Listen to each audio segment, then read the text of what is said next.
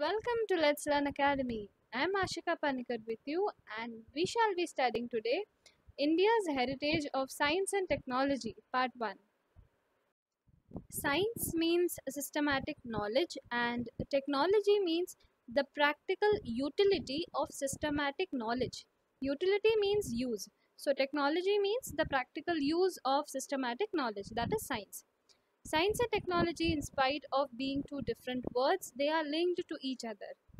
अच्छा ये जो चैप्टर है it is one of the most interesting chapters ever I found in history and uh, when i used to study still it was my favorite and even today i'm very excited to teach you all this chapter ये chapter में आप बहुत सारी ऐसी चीज़ें सीखेंगे सुनेंगे जानेंगे जो शायद आपको मालूम भी नहीं थी और जो जानकर आपको इंडियन होने पे गर्व होगा। So let's begin so our first topic is metallurgy since ancient India the people of India use metallurgy in their practical life काफ़ी सालों से हम मेटल्स का यूज़ हमारी लाइफ में करते आए हैं। Ancient India made extraordinary progress in the field of metallurgy Indians ने बहुत प्रोग्रेस भी किया है इस फ़ील्ड में। हम काफ़ी सारे मेटल्स आज यूज़ करते हैं। काफ़ी सारे अलॉयज़ भी बनाए हैं अलग अलग मेटल्स को मिक्स करके और वो भी हम यूज़ करते हैं। A metallic idol of a female dancer discovered from Indus valley civilization is an exemplary achievement of ancient India आप पहले इमेज में देख सकते हैं जो आइडल है। That belongs to Indus valley civilization मतलब आप सोच सकते हो वो कितना पुराना है। और फिर भी उस पर जो कारीगरी की जो परफेक्शन है, वो आज भी प्रशंसनीय है। Later studies of statues of Buddha belonging to Kushan period have been found at Takshashila second image में आप देख सकते हैं बुद्धा की जो आइडल दिख रही है, वो तक्षशिला वो भी काफ़ी सालों पुरानी है। In South India during the Chola period numerous metal idols were made.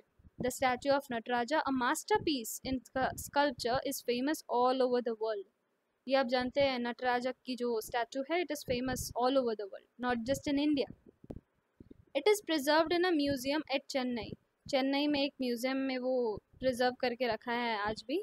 Another well known metal idol is the Ram the archer आप थर्ड इमेज में देख सकते हैं. It is also seen in the museums artistic statues of god, goddesses, birds, animals and betel nut cutters, जो सुपारी काटने की जो कटर होती है, वो, ये सारे एग्जाम्पल्स है बेस्ट एग्जाम्पल्स है मेटालिक आर्ट के। All of them have important place in the history of India chemistry chemistry को अल्कमिकल लोर भी कहते हैं। It is an experimental science. This science is very useful for various minerals, plants, seeds for agriculture. हर जगह almost chemicals तो पाए ही जाते हैं It is also useful for making medicine. Medicine में भी uh, बहुत यूज़ की जाती है आजकल chemistry. Acharya Nagarjun, a learned Buddhist of Nalanda University, is known as Acharya in the field of chemistry. He is said to be the master in chemistry, we can say. He had written books like Rasaratnakar and Arogya Manjari, ये उनकी books के नाम है। आचार्य नागार्जुन ना advocated the use of allopathy allopathy means the English medicine you can say along with herbal medicine दोनों का combination को use करके उन्होंने काफ़ी मेडिसिन बनाई है। It is believe that the use of mercury ash mercury ash मतलब जो भस्म होता है, राख जो होती है वो as a medicine was initiated by him भस्म या राख को भी मेडिसिन के जैसे हम इस्तेमाल कर सकते हैं, वो इन्होंने बताया था। Nalanda university had its own school of chemistry Nalanda university is one of the oldest university और उसके अंदर केमिस्ट्री के लिए अलग से एक स्कूल हुआ है हुआ करती थी। And furnace for study and research furnace means an area पढ़ने के लिए तो जगह है ही ऑब्वियसली यूनिवर्सिटी है तो। साथ साथ रिसर्च यानी कि खोज करने के लिए भी वहाँ अलग से जगह The description of main rasa, uparasa, 10 types of poison, as well as various types of salt and ash of minerals. Ash मतलब मैंने बताया राख या भस्म जो होता है। इस सीन इन द केमिस्ट्री ये अलग अलग चीज़ें हैं जो हम केमिस्ट्री में पा सकते हैं। अलग अलग केमिकल्स बनाना अलग अलग केमिकल्स का यूज़ करना। The copper statues of Buddha reflect an expert knowledge and skill in the field of chemistry काफ़ी सारे आइडल्स और स्टैचूज जो बने हैं, वो केमिकल्स के कॉम्बिनेशन से बने हैं the copper statue of Buddha discovered from Sultanganj in district of Bihar is seven and a half feet high and weighs one ton. इतना भारी और इतनी ऊँची जो स्टैचू है, वो मेटल को यूज़ करके उन्होंने उस टाइम पे, इतने सालों पहले बनाई थी the statue of Buddha at Nalanda is 18 feet high Buddha की स्टैचू भी 18 feet high which is very high you can say An exquisite example is of Vijay Stamba, the 24 feet high iron pillar. आप diagram में देख सकते हैं। ये एक ion pillar है जिसका नाम विजय स्तंभा है दिल्ली में है ये। इसकी हाइट 24 फीट है and it was seven tons built by Chandragupta two इस पिलर की खासियत ये है कि लगभग 1600 साल हो गए हैं इसको बनाए हुए, लेकिन आज भी ये जो आयन पिलर है वो रस्ट नहीं हुई है। मतलब इस पर कोई जंग नहीं लगी है, ना ही ये कहीं से सड़ी या ख़राब हुई है। वैसे तो हम जानते हैं आयन की कोई भी चीज़ मॉइस्चर या ऑक्सीजन की वजह से जल्दी, थोड़े टाइम के बाद वो जंग लगना या करोड़ होना स्टार्ट हो जाती है। बट ये इन्होंने जो बनाया था, ये 1600 साल के ऊपर हो गए, लेकिन आज भी इस पर कोई जंग नहीं लगी है। सो वी कैन से कि उसके अंदर may be they added some other metals also along with copper और फिर ये बनाया हो जिसके अलॉन्ग विथ आयन और फिर ये बनाया हो जिसकी वजह से आज भी करोड़ नहीं हुई है। Now comes an interesting portion that is science of medicine and surgery चौंकने के लिए तैयार होकर बैठना क्योंकि इसमें काफ़ी सारी ऐसी ऐसी चीज़ें आएँगी। Okay Maharshi Charak has written a book Charak Samhita in which he has mentioned over two thousand medicinal herbs अगर हम एक दूसरे से मेडिसिनल हर्ब्स के बारे में पूछे तो हम गिन चुन के तीन या चार बताएँगे, तुलसी, अर्दुसी, ये, वो। लेकिन इन्होंने इतने सालों पहले, लगभग 2000 से ज़्यादा मेडिसिनल हर्ब्स के बारे में बुक लिखी थी। Maharshi Sushruta has mentioned instruments use in surgery अभी तो एमबीबीएस पढ़ के डॉक्टर आते हैं, फिर वो लोग इंस्ट्रूमेंट्स का यूज़ करते हैं सर्जरी के लिए, लेकिन इन्होंने बिना किसी एमबीबीएस के बस अपने ज्ञान और नॉलेज सीख से इन्होंने इंस्ट्रूमेंट्स बनाए थे सर्जरी के। The instruments were so sharp that they would split a single vertical hair in two divisions I tell you आज की डेट में भी ऐसे कोई इंस्ट्रूमेंट नहीं है प्रॉपर जो एक हेयर को दो सेक्शंस में काट सके। ऐसे प्रॉपर इंस्ट्रूमेंट नहीं है उसके लिए।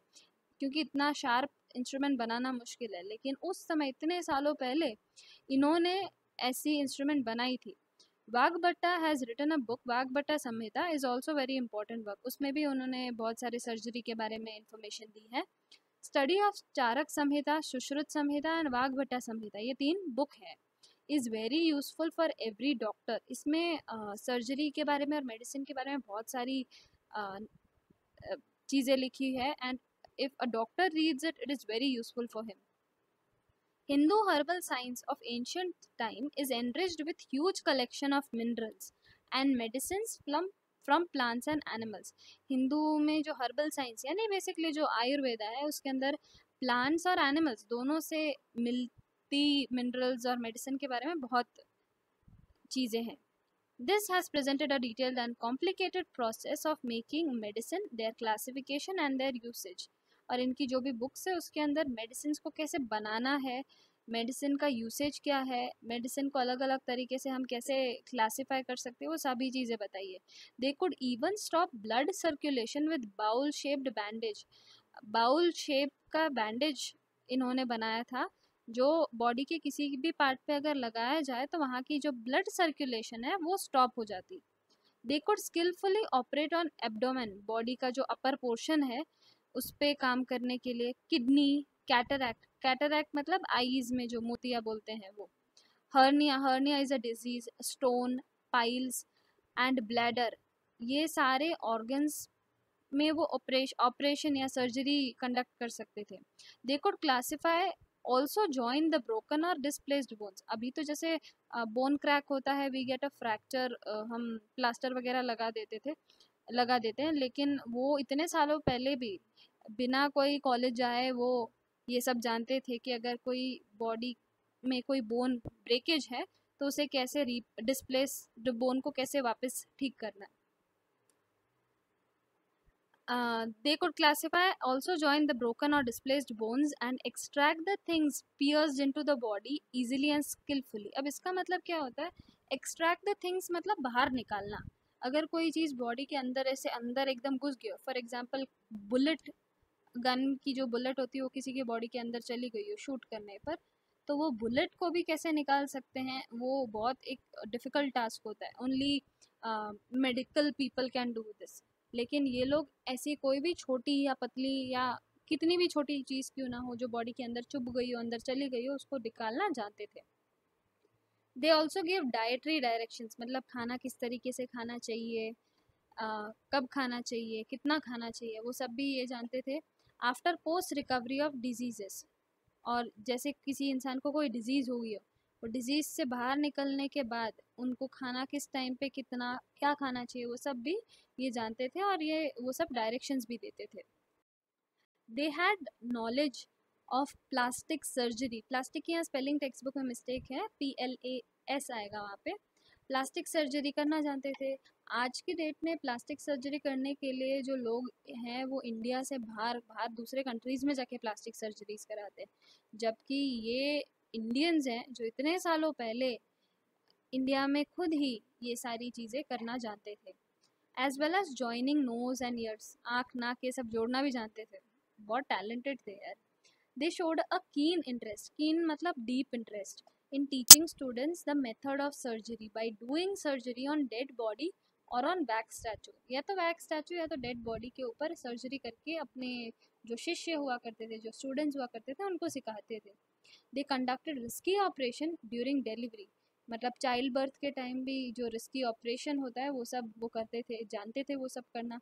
They were expert gynaecologist and paediatricians gynaecologist मतलब वुमेंस डॉक्टर एंड पीडियाट्रिशियंस मतलब चिल्ड्रंस डॉक्टर ये सभी फ़ील्ड में वो एक्सपर्ट्स थे। वेटरनरी साइंस वेटरनरी साइंस मतलब अबाउट द एनिमल्स एनिमल्स की मेडिसिन के बारे में। Also developed in ancient India they wrote books on diseases related to horses ashva and elephants hasti मतलब हाथी और घोड़े की भी मेडिसिन के बारे में वो जानते थे, उन्होंने लिखा है। अमंग देम हस्ती आयुर्वेदा, शालीहोत्रा एंड अश्व शास्त्रा आर वेल नोन ये कुछ फ़ेमस बुक्स के नाम है जो उन्होंने लिखे थे।